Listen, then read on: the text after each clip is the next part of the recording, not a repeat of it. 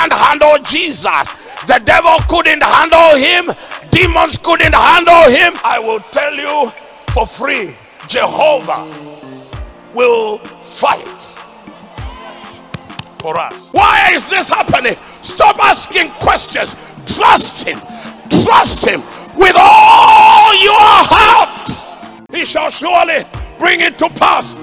He said, I'll build my church, and the gates of hell, the church will be so powerful that the devil and the demons and the forces of darkness, all of them put together, will not prevail against the church. Somebody shout glory.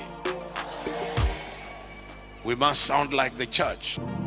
The Bible says there shall be shouts of joy in the tents of the righteous. I've missed you.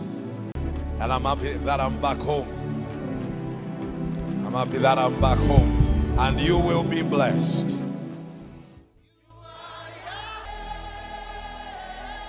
Shalom.